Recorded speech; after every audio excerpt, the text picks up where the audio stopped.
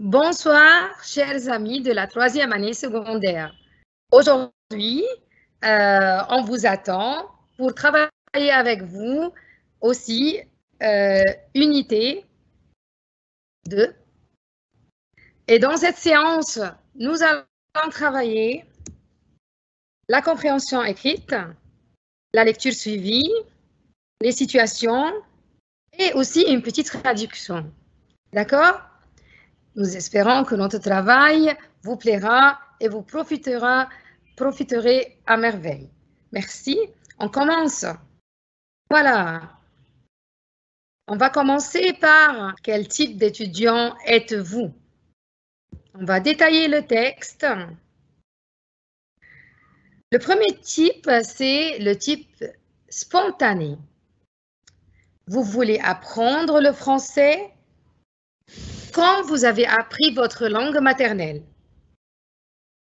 Vous êtes peut-être doué pour les langues, mais attention, les fautes de grammaire ou de prononciation peuvent devenir des habitudes.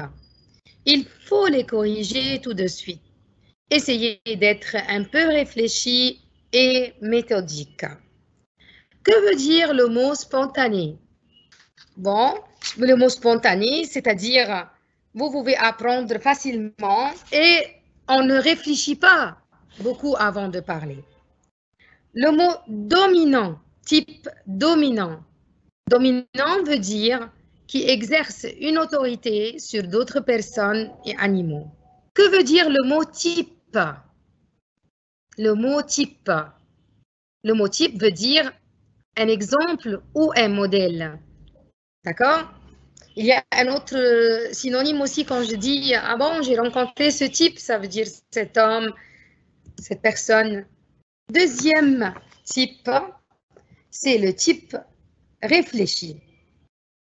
Vous êtes plus à l'aise à l'écrit qu'à l'oral. Vous avez envie de parler sans faire de faute. Tout le monde a envie de parler sans faire de faute, n'est-ce pas? Alors, vous réfléchissez avant de parler et les autres parlent à spontanéité, la confiance en soi, ça se prépare. Lisez les conseils que nous donnons au discret. Bon, le type réfléchi veut dire qui pense avant de parler ou d'agir. Alors là, ce type-là, après avoir réfléchi, il n'est pas du tout spontané, mais il aime bien préparer ce qu'il dit. Il est réfléchi. Troisième type, type méthodique. Vous apprenez le français comme la biologie ou la géographie. Vous vous intéressez beaucoup à la langue et pas assez à son utilisation. Avec le français, apprenez des choses, racontez votre vie, parlez de vos passions, mais ne passez pas tout votre temps à apprendre du vocabulaire, à faire des exercices. Bon, ce type méthodique qui aime bien agir avec méthode systématique et organisée, il adore parler de euh, règles de grammaire, il aime bien qu'il soit toujours correct et apprendre du vocabulaire et des exercices. Il a parlé de vos passions, c'est-à-dire vos goûts les plus forts, ce que vous aimez le plus. Trois, quatrième type, c'est le type discret. Vous connaissez bien la grammaire et le vocabulaire, mais vous avez peur de prendre la parole, qui parle peu et qui ne dit pas les secrets. C'est la personne discrète. Quand vous dites euh, un secret, Madame Chérine, à quelqu'un il ne dévoile jamais ce secret-là, on dit il est une personne discrète. D'accord? Alors là, c'est quelqu'un qui construit la confiance parce que pas beaucoup. Vous connaissez bien la grammaire, le vocabulaire, mais vous avez peur de prendre la parole. Tout le problème est là. Vous n'avez pas assez de confiance en vous. Assez confiance en vous Confiance, qu'est-ce que ça, veut dire, que c'est le contraire de mon méfiance, c'est-à-dire être sûr de soi et euh, Pour construire cette confiance, préparez un stock de petites phrases. Je suis d'accord, j'aime bien. Alors là, on se prépare, les personnes discrètes se préparent. Posez des questions, demandez à votre interlocuteur de vous aider.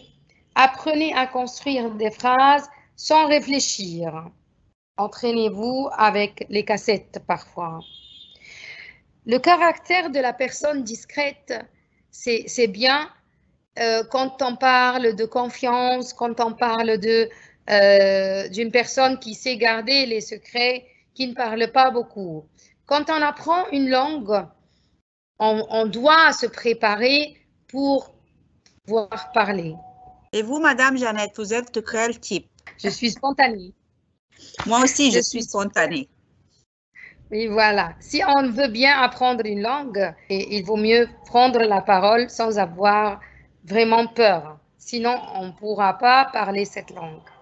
Voilà. Quel type d'étudiant êtes-vous? C'est le titre de notre euh, leçon, qui est unité en leçon 2. Comment un étudiant de type spontané veut-il apprendre une langue? Il s'intéresse beaucoup à la langue et pas assez à son utilisation. Il veut apprendre une langue comme il a appris sa langue maternelle. Il connaît bien la grammaire et le vocabulaire. n'a pas confiance en soi. Il s'exprime aisément, facilement à l'écrit qu'à l'oral. Alors, c'est numéro, c'est numéro B. Non, donnez-nous le temps de réfléchir et de lire. Voilà. C'est comme on a dit que quand on veut s'intéresser à la langue et à son utilisation, mais on ne peut pas dire la langue sans son utilisation, donc numéro un, on ne peut pas l'utiliser. Il connaît bien la grammaire et le vocabulaire, mais il n'a pas confiance en soi. C'est plutôt quel type? C'est le discret, je crois. Voilà, c'est le discret. Il s'exprime aisément à l'écrit qu'à l'oral. La personne qui aime bien l'écrit qu'à l'oral, c'est la personne médique. Donc, le spontané, c'est il reste le numéro B. Il veut apprendre une langue comme il a appris sa langue maternelle. Merci, madame. Vous, vous, nous, a, nous a offert le, la réponse. Que néglige-t-il Le type spontané? Il néglige la confiance en soi. Il néglige la pratique de la langue. Il néglige l'oral. Il néglige la grammaire et les fautes de grammaire. On a dit ça dans le texte. Il néglige quoi? Dans le texte, on a dit, on ne peut pas dire négliger l'oral parce que le type spontané, il aime bien parler.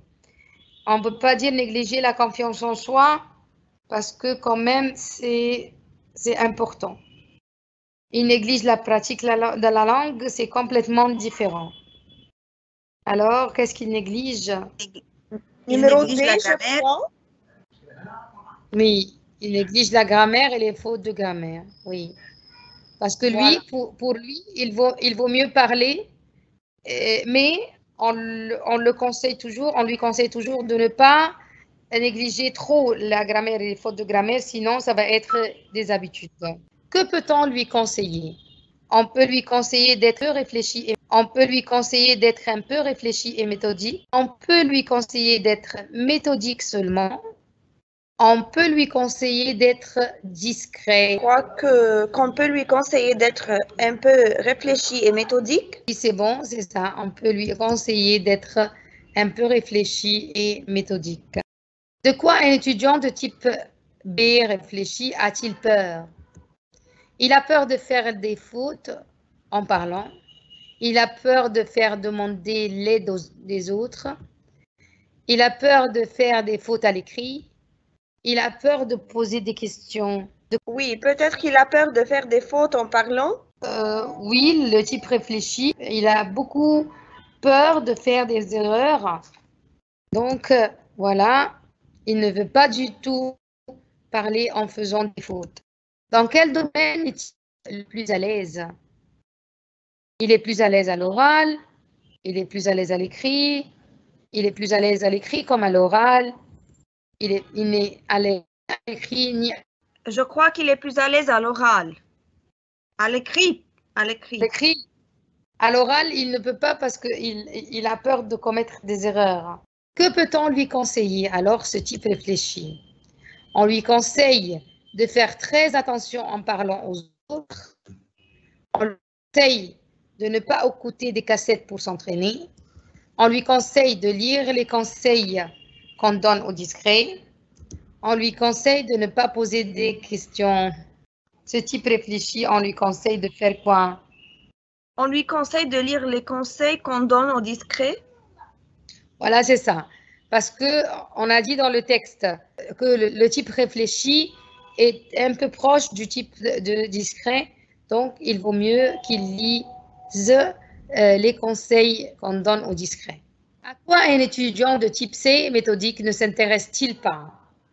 Il ne s'intéresse pas à l'utilisation de la langue, il ne s'intéresse pas à faire des exercices, il ne s'intéresse pas à apprendre le vocabulaire, il ne s'intéresse pas à parler des passions il ne s'intéresse pas à l'utilisation de la langue. Voilà, parce que en fait, le type méthodique, il ne s'intéresse pas à l'utilisation de la langue, plutôt il, s'intéresse au vocabulaire, aux règles de grammaire, ainsi de suite.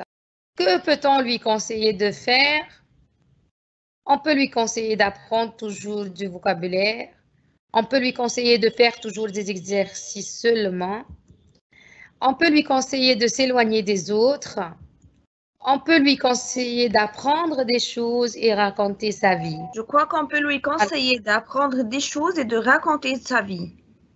Voilà, parce que quand on veut parler de sa vie, de ses passions, on ose parler et on, peut euh, mettre de côté les règles et tout ça. De quoi un étudiant de type discret a-t-il peur? Il a peur de faire des fautes de grammaire. Il a peur de prendre la parole. Il a peur de faire des fautes de vocabulaire. Il a peur de construire des phrases à l'écrit. De quoi il a peur? Il a peur de prendre la parole. C'est ça. Un type discret, il a peur de prendre la parole. Il est discret. Que doit-il faire pour construire sa confiance? Il prépare de petites phrases sans réfléchir, pose des questions et construit sans réfléchir. Il s'intéresse à l'utilisation de la langue. Il s'intéresse à l'écrit qu'à l'oral. Il réfléchit beaucoup. Je crois qu'il euh, prépare de petites phrases sans réfléchir, pose des questions et construit sans réfléchir. Pour le discret, c'est parce que lui, et il aime bien ne pas il, n'a pas assez de confiance en, soi, alors là, il prépare un stock de petites phrases et il commence à poser des questions. Quand il prépare ces choses-là, ces phrases-là, il peut facilement poser les questions et il peut sortir de euh, sa discrétion. Cherchez les points forts et les points faibles chez les quatre types. Spontané, méthodique, réfléchi, discret. Le point fort pour spontané, c'est quoi? À votre avis, c'est quoi? Les points forts pour spontané. Je crois qu'il est doué pour les langues. Oui, c'est bon, il est doué pour les langues. Et la méthodique? Quelles sont les... Oui, peut-être qu'il s'intéresse beaucoup à la langue. Il s'intéresse beaucoup aux règles de grammaire, à la langue, à l'écrit. Et réfléchit, quel est son point fort euh, je crois qu'il est à l'aise à l'écrit. Il est plus à l'aise à l'écrit oui. Et il pense beaucoup avant de prendre la parole. Discret euh, Il connaît la grammaire et le vocabulaire. Alors, doué pour les langues, c'est pour le type spontané. Ils sont doués pour les langues. Ils s'intéressent, la méthodique, ils s'intéressent beaucoup à la langue. Le réfléchi, ils sont toujours à l'aise à l'écrit. Le discret, ils connaissent très bien la grammaire le vocabulaire. Maintenant, leur point faible, le spontané. Qu'est-ce qu'il a comme point faible? Euh, Il a trop de fautes de grammaire. Trop de fautes de grammaire, très bien. Oui. Euh, parce que à force de parler, il commet des erreurs et il s'habitue à ces erreurs. Pour le méthodique, son point faible, il euh, ne s'intéresse pas à l'utilisation de la langue. Oui, voilà. Le, le réfléchit euh, Il réfléchit avant de parler. Voilà, il réfléchit trop, c'est son point faible, oui. Le discret Il a peur de prendre la parole et il n'a Ouais. pas confiance en soi. Voilà. C'est complètement ça ce que je veux dire. Font des fautes de grammaire, ne s'intéressent pas à l'utilisation de la langue, ils réfléchissent avant de parler, ils ont peur de prendre la parole, ils n'ont pas confiance en en eux. Donc voilà les points forts, les points faibles de chaque type.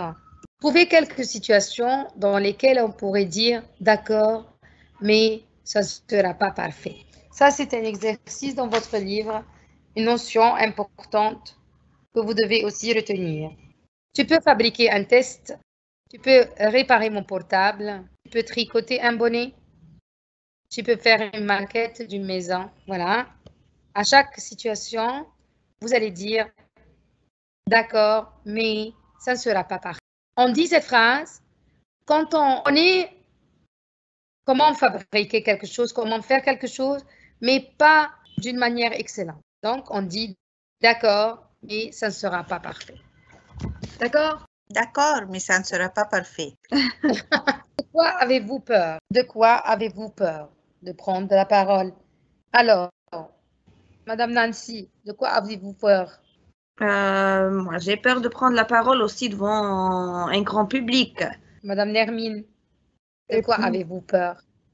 Par exemple, si euh, je Ah. vais jouer euh, d'un instrument, n'importe quel instrument, j'ai peur, par exemple, de faire une faute, une fausse de note. Voilà, une fausse note euh, quand on joue de la musique. Très bien. Et Madame Chérine, de quoi vous avez peur? Euh, par exemple, si je prends un parachute, non, je, je, je serais terrifiée.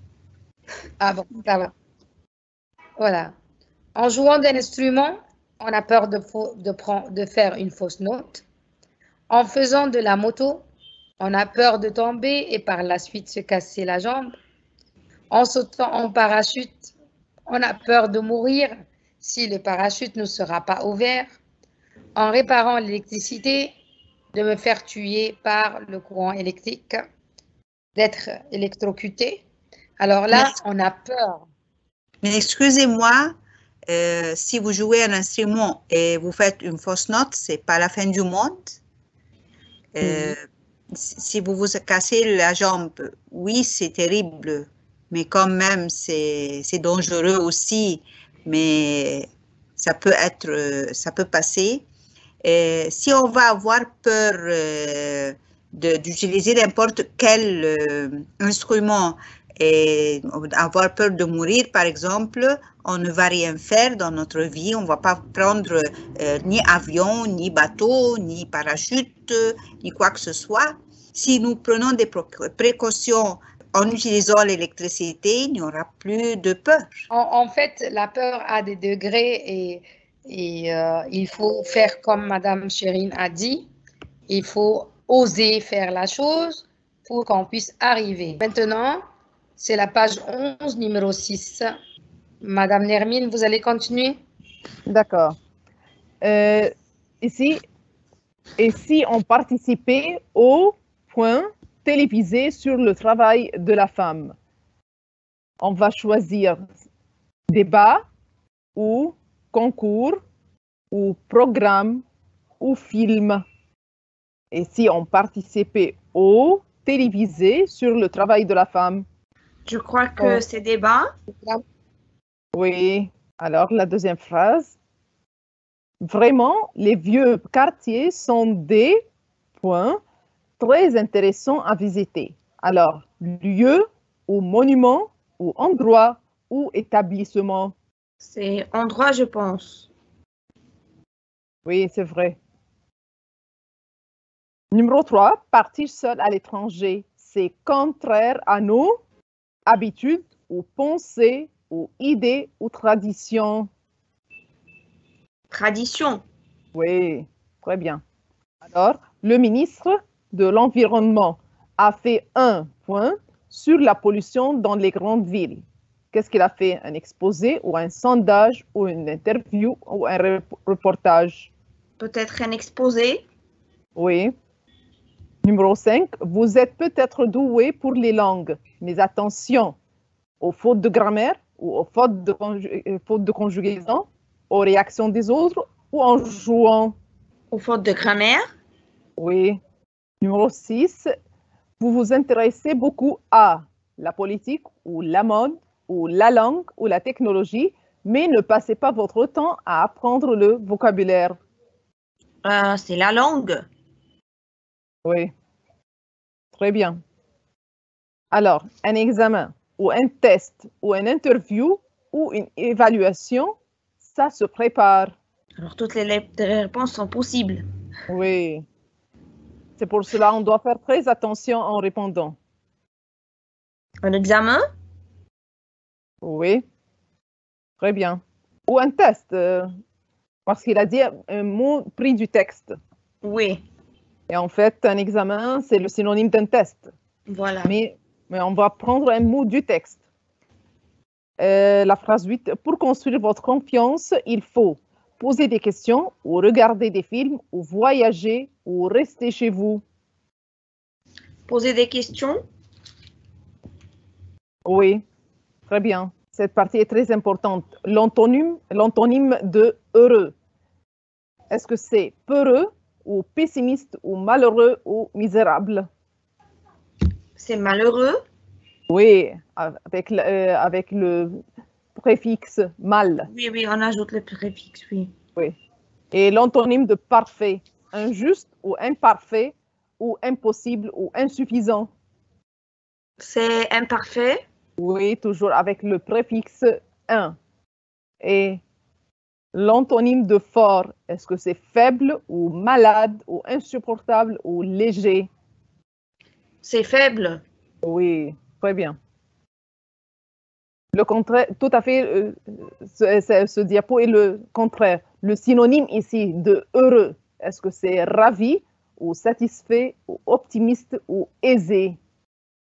Je crois que heureux, c'est ravi. Oui, ravi ou si, si on a aussi gai, Voilà. joyeux. Oui.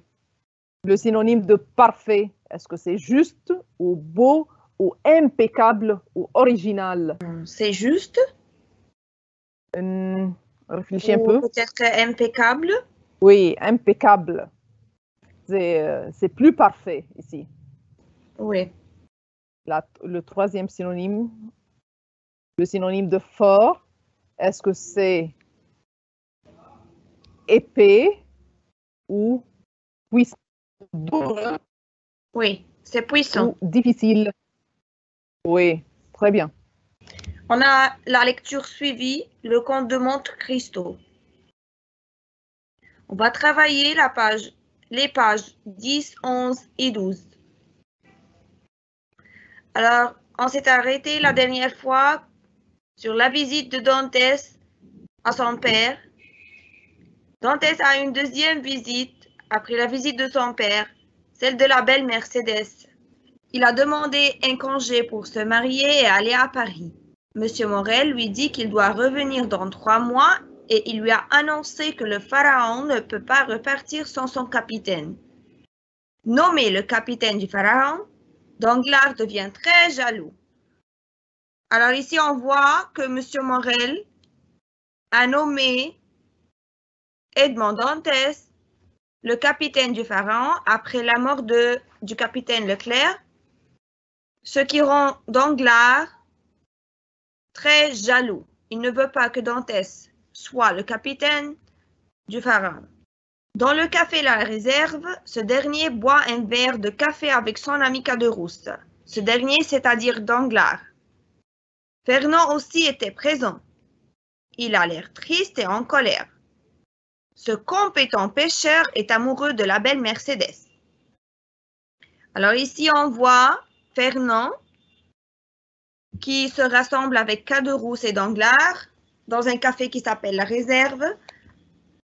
Fernand est très triste parce que lui aussi est amoureux de, la belle Mercedes qui va épouser Edmond Dantès.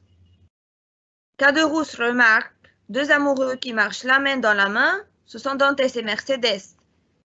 Fernand est angoissé. Voilà, Caderousse du café, il a remarqué qu'il y a deux amoureux qui marchent ensemble, ce sont Dantès et Mercedes. Alors, Fernand aussi a vu, a remarqué et il est très en colère. Le synonyme de repartir est rebondir, retourner, classer, partager. Je Voilà, crois que c'est retourner. Oui, c'est retourner. Très bien. Le synonyme de nommer est mentionner, envoyer, dévoiler, affecter. Je crois que c'est mentionner. Voilà, c'est juste. Le synonyme de saisir des larmes. Alors, il faut les bouleverser, les émouvoir, les déchiffrer, les attraper. C'est attraper. C'est très bien. Alors, le synonyme de en colère. Agressif, impatient, furieux, embêté. Je confonds entre furieux et agressif. Non, en colère, c'est furieux. Agressif, euh, c'est un peu, il saisit une action, euh, c'est un, une action résultante de la colère. Ah oui. Alors c'est furieux. Voilà, merci. Le synonyme de tressaillir. Remuer, trembler, sursauter, éprouver. Il y a des petites nuances entre, entre eux. Oui, Mais Alors, je crois que euh, c'est trembler. c'est trembler, voilà. On peut aussi dire frissonner. Oui, oui. Le synonyme d'angoisse, embarras, douleur, frémissement, quiétude. Je crois que c'est embarras. C'est embarras, voilà. Après une lecture approfondie, répondez aux questions suivantes. Qu'est-ce que Dantès va faire pendant le congé que lui accorde M. Morel? Je crois qu'il va se marier. Ah, c'est bon, très bien. Est-ce que tout le monde est d'accord de la nomination de Dantès capitaine du Pharaon? Non, Danglars est plein de haine, tandis que M. Morel suit Dantès d'un regard d'admiration. Danglars le suit d'un regard de haine et de jalousie. C'est très bien, c'est-à-dire il refuse intérieurement sa nomination capitaine du Pharaon. Il Oui. voulait le remplacer. Question 3. Qui est Fernand? C'est un des meilleurs pêcheurs de Marseille. De son côté, il est amoureux de Mercedes. Ah, voilà. Ce qui explique pour- pourquoi il est en colère. Oui. Quelle est la réaction de Fernand en voyant les deux amoureux, Dantès et Mercedes, marchant la main dans la main? Et bien sûr, il sent l'angoisse et son visage se décompose. Bien sûr, il est jaloux. Ah voilà, parce qu'il voulait lui aussi épouser Mercedes. Situation. Le maire reçoit une personnalité française. On vous demande de faire l'interprète.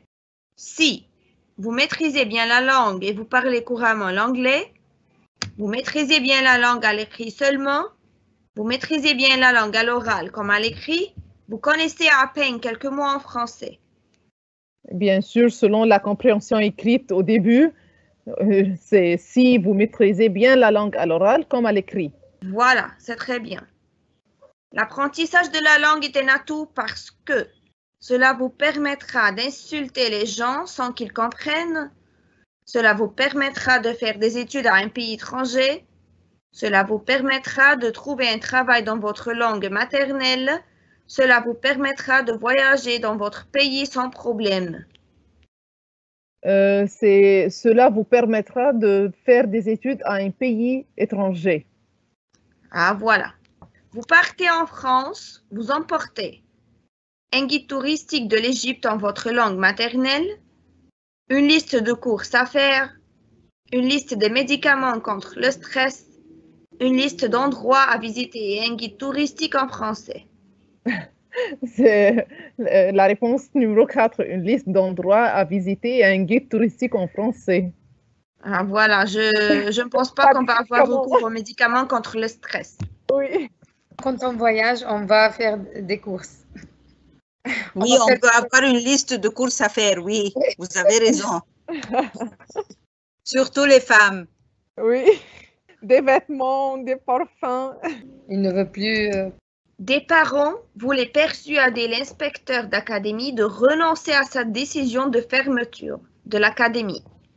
Ils lui diront L'établissement connaît de graves difficultés financières. Nous vous demandons instamment d'abandonner ce projet. Pourriez-vous nous informer sur les mesures que vous comptez prendre concernant cette fermeture On vous demande un délai de paiement. Je crois que c'est numéro B. Nous, vous demandons instamment d'abandonner ce projet. Très bien. Pour dire son opinion négative sur une émission, l'accumulation des effets spéciaux épuise le spectateur, les bonnes émissions culturelles passées le soir, la qualité du son était irréprochable.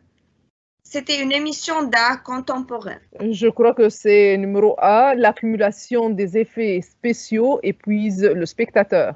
Voilà, les effets spéciaux, c'est-à-dire les effets sonores et visuels. Oui.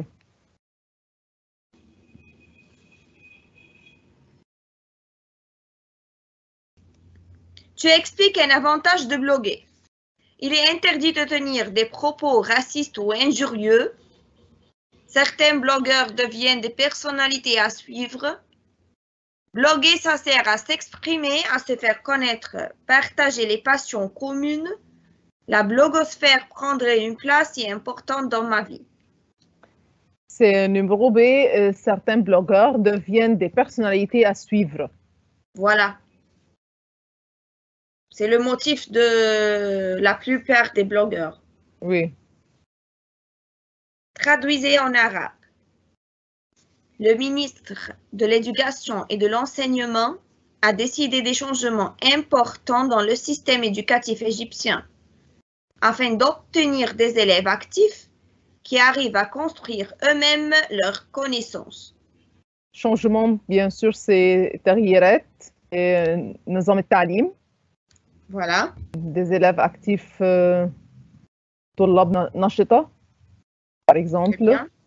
Euh, connaissance euh, c'est معارف par exemple Oui, très bien. alors euh, on, on dit euh, قرر وزير التربية والتعليم عمل تغييرات مهمة في نظام التعليم المصري بهدف الحصول على طلاب نشطة تصل إلى بناء معارفهم بأنفسهم C'est très bien. Traduisez en français. يجب تشجيع الشباب على السكن في المدن الجديدة بعيدا عن المدن المزدحمة والتلوث. هناك يمكن الاستمتاع بجمال الطبيعة والهدوء. تشجيع ça veut dire encourager مدن جديدة لنوفيل فيل. مدن مزدحمة لفيل on peut dire bondé euh, plein de gens. La, la pollution. L'estemtea, c'est jouir. Ainsi, on peut dire il faut encourager les jeunes à résider dans les nouvelles villes, loin de, de l'embouteillage et de la pollution. Là-bas, ils peuvent jouir de la beauté de la nature et du silence. Gamel wal-hudu. Voilà, merci. Maintenant, avant de fermer, on voudrait bien remercier euh, tous les partenaires qui ont travaillé euh, aujourd'hui et qui ont encadré le travail. Euh, Madame Wafé Abbès, directrice pour le développement du français. Madame Chérine Rarib, inspectrice générale d'Alexandrie. Madame Jeannette Ishak, coordinatrice de français au secrétariat général des écoles catholiques au Caire. Madame Nancy Aed El Kamel, professeure de français à l'école Notre-Dame de la Délivrante d'Ahir. Madame Nermine Sultan, professeure de français à Alexandrie. Et Monsieur Ashraf Abdelaziz Soliman, premier inspecteur Sinaï du Nord. Merci beaucoup, chers amis, et à la prochaine.